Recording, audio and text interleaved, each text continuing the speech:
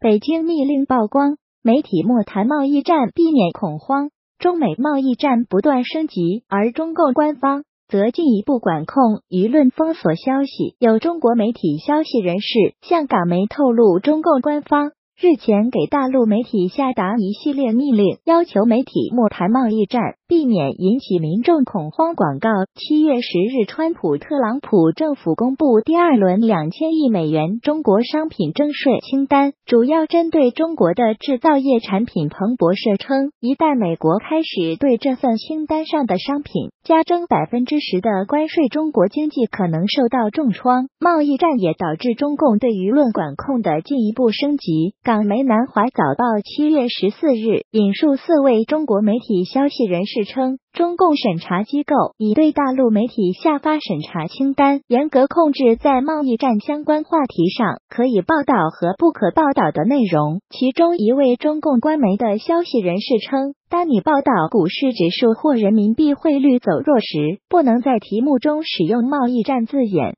避免引发恐慌。另一名消息人士透露，不同层级的媒体机构在报道贸易战时的许可权也不一样。官媒可以就贸易战发表社论及新闻报道，而地方媒体及网络媒体只能转发官媒的报道。自贸易战开打以来，大陆出现股汇双杀的动荡局面，中国股市血流成河，连遭重创。业内人士称，股市危机或将超过二零一五年的股灾。此外，人民币汇率也连连下跌，这给北京的金融维稳造成了极大压力。大陆金融学者贺江兵日前指出，中共正面临明斯基时刻经济泡沫，行将破裂贸易战，恐引爆三个定时炸弹：中共内债、楼市泡沫和金融泡沫。中共如果和美国硬碰硬，无疑是泡沫撞钢针。还有台媒称，美中根本不是同量级的对手，贸易战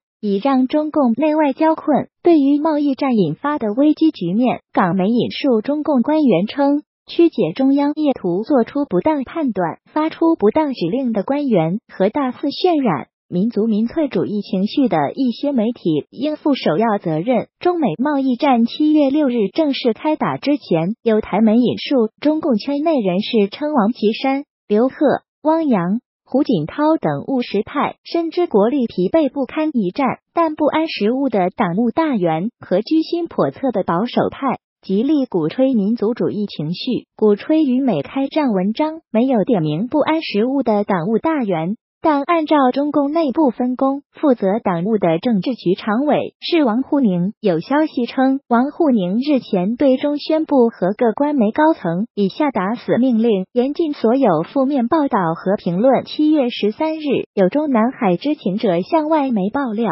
针对不断加剧的内忧外患，中共意识形态大总管王沪宁日前将中宣部和各大官媒高层紧急招至中南海召开内部会议。该知情者称，王沪宁在会议上强调，从朝鲜半岛危机到中美贸易战，从“一带一路”到国企扶贫和股市，再到污染、添加药和天灾人祸，事无巨细均要求严格把关，把握分寸进行报道。该知情者还称。中共被列网络和社交媒体监控的敏感词每天都在更新，而被列中共黑名单的海内外众多网站和社交应用也将会被强制整改，甚至无限期被防火墙封锁。多款 VPN 和社交应用也将陆续下架。